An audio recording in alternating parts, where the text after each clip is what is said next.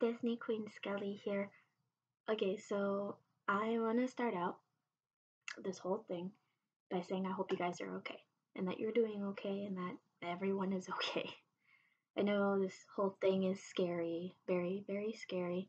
Um, whether, you know, you are taking the extreme measures or you're just kind of taking it day by day, seeing what happens, whatever you guys are doing, I hope you guys are okay. Uh, you know, my work is shut down for now, which kind of sucks, but at the same time, it gives me time to stay home, work on other projects, and, you know, spend time with, with my hubby, who's here next to me. He just has headphones on. He doesn't want to be in the video. um, I really hope you guys are doing okay. That's just all I wanted to say. And, you know, remember to keep your spirits up because, you know, in these dark times, the only thing, well, not really dark times, I guess, but in these scarier moments, you know, the only thing you can really do, the best thing you can really do is to just keep your hope, keep your spirits up. You know, try to stay happy, try to calm those around you, and try to make the best of a bad time. I mean, that's really all that you can do.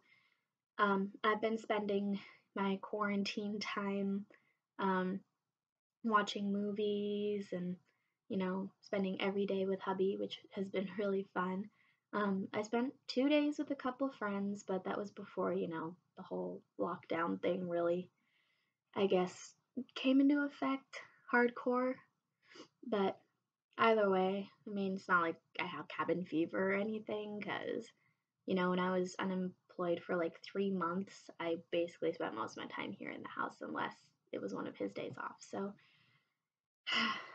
you know, hopefully things do get better soon. And if not, we just gotta try to stay positive, try to keep our heads up, you know, try to, you know, keep those around you calm as well. And just take this day by day, see what happens. Obviously, you know, be safe, be healthy, wash your hands, do the whole public distancing thing if you have been doing it. I mean, I'm not exactly six feet away from hubby right now. But just be safe and be healthy and be careful, please. Now, on to happier subjects. Well, not really happy, but different subjects just to try and keep everyone's mind off of things. So, where have I been? Last I posted was over a month ago. It was like a month and 11 days ago. And I remember that because I looked at the date and then I'm looking at today's date. it's been a month and 11 days since I've really posted something that was supposed to come from the channel. Like obviously you guys have seen the the electric machine video. If you haven't, go look at it. And then uh, the other one was the food and wine festival, which I'm so glad I got to do it before Disneyland closed their doors. But where have I been? So the last time I uploaded was February 10th. And I just kind of want to give an explanation of why I haven't been here. So, as you guys know, I had my orientation uh, at my work on the 7th and the 9th. Well, I had my first week of training the week of the 10th, which is why I didn't upload because I think three of those days I was working and I didn't know exactly how I wanted to go about doing the channel in terms of my work, and I was really waiting to get a set schedule from my work. That way, I could plan out what days I wanted to film and what days would be spent with hubby and Harley baby and, you know, my little family. Well, after that week, I was supposed to start my actual train. I was about supposed to start a second part of my training.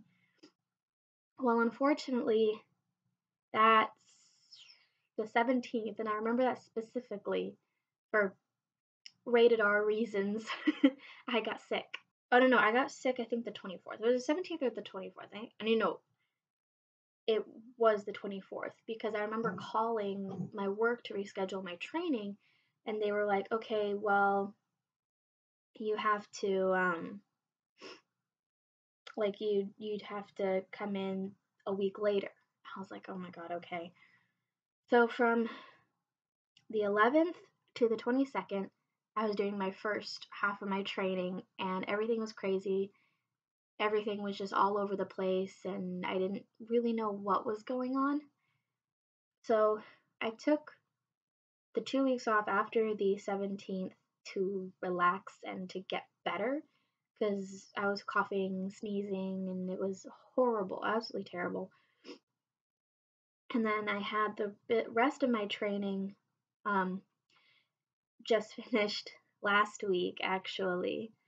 Um, I had it the oh, I did my first day of training, I think on the 22nd, and I was supposed to go back the 23rd, 24th, but instead I went back the 8th and 9th. And my first shift on my own was the 13th. No, no, no, the 12th. The 12th was the 12th. And then that's when the whole, you know, jobs are shutting down, stay home happened on the 13th. And um, I didn't know if I really wanted to record anything for this channel during the quarantine, but my nerves started getting crazy and I mean on top of that, I I actually had to go to the doctor last week because for like the past 2 weeks before that, I had been suffering from hip pain. Like it the first week wasn't so bad, it just felt like I had pulled a muscle. So, you know, I'm thinking just ice it um, heat it you know, do something just to calm the muscle down. And then the week after, it became like a sharp pain, like someone was like driving their elbow into me.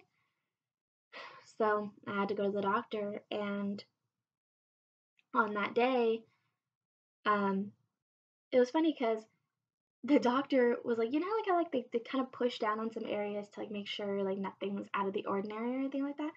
Well, this guy was like driving his fist into my sides and like he he, he was checking my gallbladder to make sure that like I didn't have gallstones, which would have been an entirely different problem. So anyway, um, so he shoved down no gallstones. Thankfully, he didn't feel anything.